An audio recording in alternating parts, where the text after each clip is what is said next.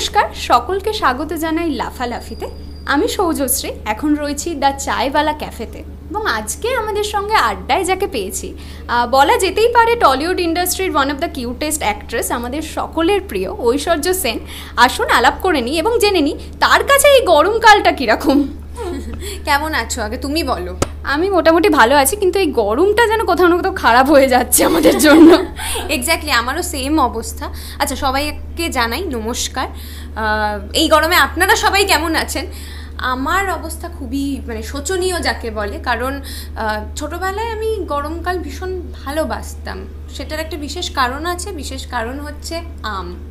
মানে আমার পার্সোনালি আম খুব ফেভারিট আর আমি ছোটোবেলায় ওয়েট করে থাকতাম যে গরমকাল আসবে এবং আমি মানে সব রকমের আম। সেটা কাঁচা আম পাকা আম কাঁচা মিঠা আম সব কিছু কিন্তু এখন কলকাতায় যেভাবে গরমটা পড়ছে তাতে আর না ব্যাপারটা ওই আমি আটকে নেই। এবার ভয়ঙ্কর গরম পড়ে গেছে সুতরাং এখন আমি কিন্তু শীতকালের ভক্ত হয়ে গেছি।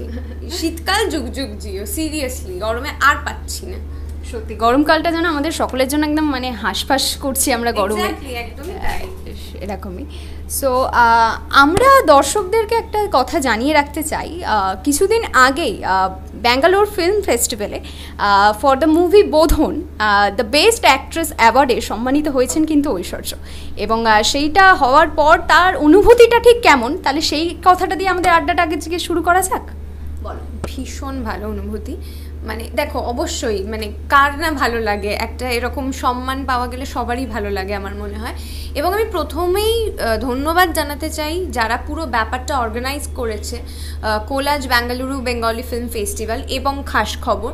এবং একজনের নাম উল্লেখ না করলে মানে খুব অপরাধ হবে, সেটা হচ্ছে সুমনা দি, সুমনা কাঞ্জিলাল উনি যেভাবে পুরো ইভেন্টটাকে অর্গানাইজ করেছে এবং শুধু অর্গানাইজ বলব না, সবার যেভাবে খেয়াল রেখেছে, সবাইকে যেভাবে টেক কেয়ার করেছে, সেটা সত্যি মানে ভীষণই প্রশংসনীয়। এবং আমাদের শর্ট ফিল্ম বোধন বোধন এতগুলো বাংলা সিনেমা এবং শর্ট ফিল্মের মাঝখানে বোধন দেখানো হয়েছে। সবাই দেখেছে সবার ভীষণ ভালো রেসপন্স এবং সবটা মিলিয়ে আমি তো ভীষণ খুশি হয়েছি এবং তার সাথে যেটা তুমি বলছো বেস্ট অ্যাক্ট্রেস সেটা তো একটা ভালো লাগার জায়গায়। আর আর আরও দুজনের নাম উল্লেখ করতেই হয় সেটা হচ্ছে আমার কো অ্যাক্টর ঋতব্রত মুখার্জি এবং আমাদের ডিরেক্টর সায়ন বাসু। ওদের দুজনকে ছাড়াও এই কাজটা একদমই ইনকমপ্লিট থাকতো। কারণ ঋতব্রত হি ইজ ব্রিলিয়েন্ট মানে সেটা আমরা সবাই জানি। আর ওর মতো কো অ্যাক্টার থাকলে না, কাজটা আরও বেশি স্মুথ হয়ে যায় করাটা। এবং সায়নও খুব ভালো ডিরেক্টর আমাদের ভীষণভাবে হেল্প করেছে পুরো কাজটায়। তো এই দুটো মানুষও ছিল বলে আমাদের বোধনটা আজকে সবার ভালো লেগেছে। এবং সব থেকে বড় ব্যাপার অডিয়েন্স দর্শক, আপনারা এতটা ভালোবেসেছেন, ভালোবাসা দিয়েছেন। থ্যাংক ইউ সো মাচ একদমই। দর্শকদের ভালোবাসা হলো কিন্তু অভিনেতা অভিনেত্রীদের সেরা প্রাপ্তি।